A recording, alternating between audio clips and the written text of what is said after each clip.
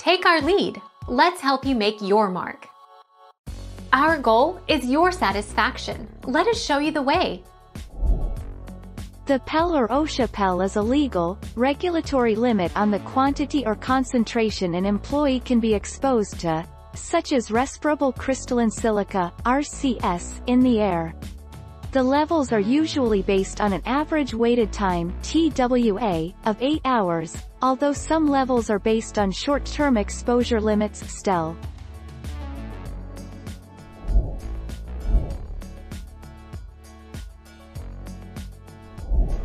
Make your mark. Take our lead. TWA is the employee's average airborne exposure in any 8-hour work shift of a 40-hour work week which shall not be exceeded. The 8-hour TWA PEL is the level of exposure established as the highest level of exposure an employee may be exposed to without incurring the risk of adverse health effects.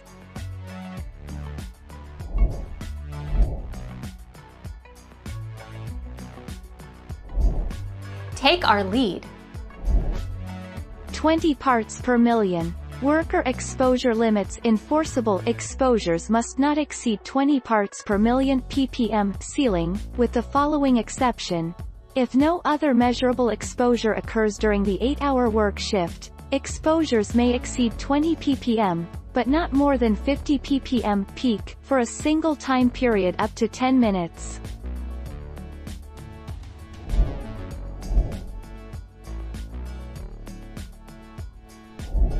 Take our lead. Let's help you make your mark. During an 8-hour work shift, an employee may be exposed to a concentration of substance A, with a 10 ppm TWA, 25 ppm ceiling and 50 ppm peak, above 25 ppm, but never above 50 ppm, only for a maximum period of 10 minutes. Thank you for watching. Please subscribe and hit the bell notification.